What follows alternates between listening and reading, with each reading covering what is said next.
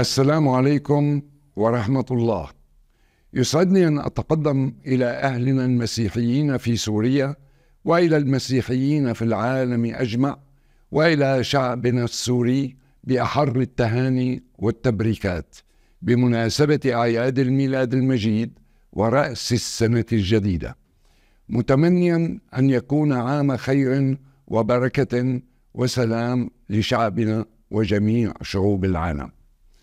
يحل عيد ميلاد رسول المحبة والسلام السيد المسيح عليه السلام في وقت تستمر فيه معاناة شعبنا السوري حيث تم تهجير أكثر من نصفه وغالبيته العظمى باتت تعيش تحت مستوى الفقر.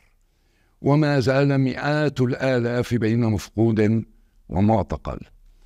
على الرغم من كل ذلك ما زال شعبنا العظيم يتطلع إلى حياة كريمة. في دولة قائمة على مبادئ الحرية والكرامة والمواطنة المتساوية وهو ما أكده ويؤكده الشعب السوري بصموده الأسطوري وتعبيره بطرق مختلفة عن رغبته في بناء سوريا جديدة لكل السوريات والسوريين. وتحقيق الظروف المناسبة من أجل العودة الطوعية والكريمة للمهجرين كافة. إننا في هذه المناسبة نذكر العالم أجمع بأن الشعب السوري ما زال يعيش في ظروف غير إنسانية وأنه كغيره من الشعوب حول العالم يستحق الحياة بسلام وأمان وأن هذا الشعب وغيره من الشعوب التي تعيش في ظل الحرب والاستبداد يستحق الدعم بكافة السبل لرفع المعاناه عنه واعطائه الفرصة لبناء مستقبله والعيش في استقرار وسلام. إننا في الائتلاف الوطني السوري نؤمن بالسلام ونتطلع إليه وثورتنا كما بدأت سلمية ها هي تستمر بشكل سلمي في السويداء وغيرها من بقاع وطننا الحبيب. نعمل بكل طاقاتنا من أجل إحلال السلام والاستقرار في بلادنا.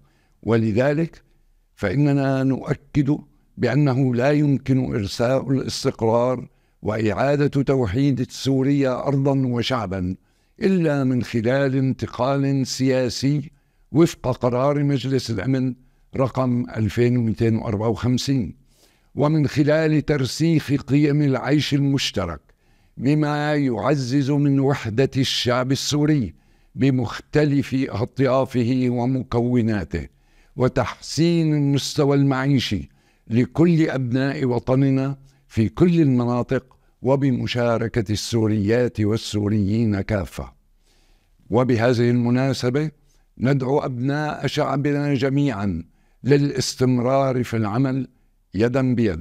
من أجل الوصول إلى سوريا نعيش فيها جميعا جنبا إلى جنب ونعمل فيها سوية لبناء دولة ديمقراطية حديثة تقوم على أسس العدالة وسيادة القانون والمواطنة المتساوية وتضمن حقوق الجميع دون التمييز على أي أساس كان في وطننا الحبيب الذي يتسع لجميع أبنائه ويحتفي بشعبه المتنوع باعتباره أكبر ثروة ورأس مال لمستقبل مزدهر.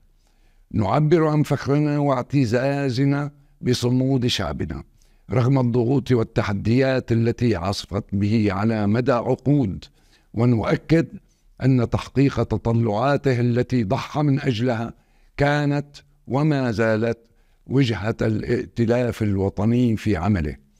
نستذكر في هذه المناسبة أهلنا في ارض في أرض ميلاد السيد المسيح رسول السلام.